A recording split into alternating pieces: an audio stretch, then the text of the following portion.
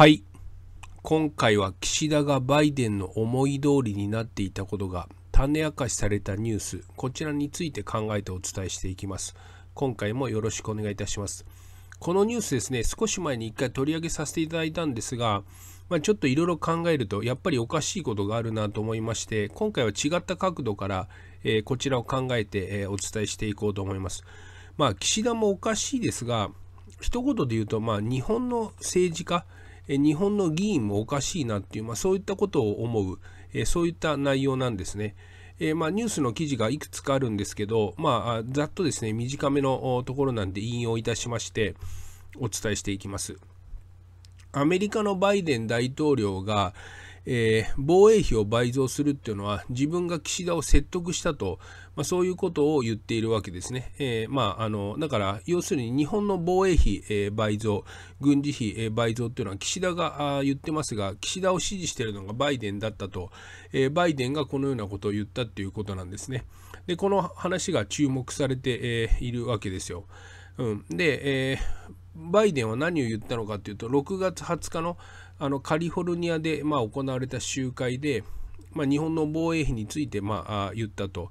えー、どういうことを言ったのかというと私は日本の議長大統領副点々点々、え、指導者と広島 G7 を含め3回会談して、えー、岸田首相に、えー、岸田首相をか説得した結果あ彼自身何か違うことしなければと思うに至った日本は防衛費を飛躍的に増したと言ってるわけですね。だこれっていうのは、バイデンが背後から岸田に、防衛費増額しろよっていうことを指示したっていうようなことなんですよ。で、バイデンは言ってることが非常にまた謎なんですが、日本がヨーロッパの有事に関心を持ち、ウに、えーえー、支援しているのはいつ以来だとかって、別に日本国民は全くそんな有事に関心を持っていないんですが、で、えー日本がウに多額の支援をしたことをしたのも、えー、バイデンの指示であったと、まあ、そういったことを言ってるわけですよ。で日本の、まあ、安全保障にとっても安全保障についても岸田を説得したのはバイデンであるっていうことを言ってだからバイデンと岸田の言うことが全く違うわけですよ。ただ日本とアメリカの関係を考えるとアメリカっていうのは日本の宗主国、日本はアメリカの属国ですから、バイデンの言ってることが正しいと、え考えられるんですね。別に岸田の肩を持つわけではないですが、まあ、岸田は言われるがままに、まあ、している、まあ、そういうふうにもと取れるわけですね。で、バイデンは、あまあ、日本に、まあ、その防衛予算、あるいは軍事予算を、まあ、増大するように、まあ、言っていたと。うん、で、えー、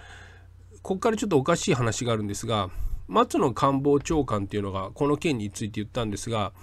えー、防衛費の増額は我が国自身の判断。だつまり松野官房長官の言うことはバイデンが決めたのではなく日本国岸田とか自分たちが決めたっていうようなことを言うんですね。我が国の防衛費の増額は我が国自身の判断によるものだという事実。発言を誤解を招き得るものだったということで日本の立場をアメリカに説明したって言うんですが、まあ、そんなことはないでしょうね。アメリカ側からは日本の防衛費の増額はあ日本日本が自分で決めたことだったって言うんですが、まあ、これっていうのも松野官房長官が出たの目を言ってると思いますね。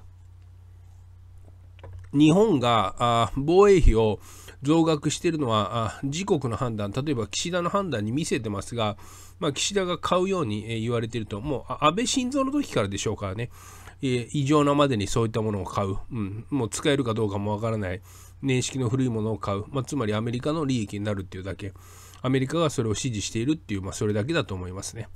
で、僕もそうですし、まあ、リスナーさんもそうだと思いますが、まあ、アメリカに言われるがままなんだろうなと思うかもしれないんですが、今回バイデンがこのようなことを言ったことによってそれがニュースになったことによって種明かしされたことによってやっぱりそうだったんだなとかって思うわけですよ。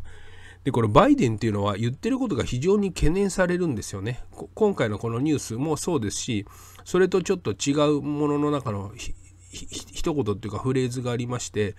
日本をヨーロッパの有事に巻き込むことができると思っていたとバイデンは言ってるわけですよ。言ってる意味がわからないじゃないですか。日本国民は全くそんなことを望んでいないし。で、まあ、ウの支援はバイデンが岸田に言って岸田が払ったっていう、まあそういったことだと思いますけどね。で、まあ、正直苦しいところなのかもしれませんが、岸田っていう、まあ、日本の内閣総理大臣はですね、日本の国民のことを考えてもらいたいんですが、この岸田とバイデンのやり取りから見ても、岸田っていうのは日本国民のために、え、なることを全くしていないし、日本国民のことを考えていない、日本の国益となるようなこともしていない。同様にもう一つ問題があるんですね。他の政治家とか他の他の議員もこの件について何も触れないわけですよ。ねえー、アメリカの言われるがままなわけじゃないですか。うん、防衛費増額、軍事費増額、日本国民のことを考えているんであれば、それに異議異論を唱える政治家っていうのがいるはずなんですよ。しかし、いないっていうことですよね。もっと言えばですよ、このバイデンがこのようなことを言って日本国民が有事に巻き込まれる懸念が出ているにもかかわらずなぜ日本の議員は誰もこういうことに反論意見反対、えー、異論を述べないのかって完全に日本の議員政治家って売国道の集まりじゃないですか。僕今回の件で思いましたからね、うん、まあもともとどうしようもないと思ってますがどうしようもない奴らしかいないなと思いましたね。だっていたら言うでしょ普通に、うん、このままでは国民が危ないとかって普通に言うと思うけど誰も言ってないからね。わけわかんないじゃないですか。安倍晋三の時からおそらく、えー、アメリカの武器を大量に買い込んでいて、日本がその、まあ、有事になるかどうかは別にして、えー、日本にとって懸念する、そういう道に進んでいたっていうことだと思います。で、最近というのは、そのね、えー、まあ、広島 G7 サミット、まあ、西側の,、まあその力が弱まってるっていうこともあるんでしょうけど、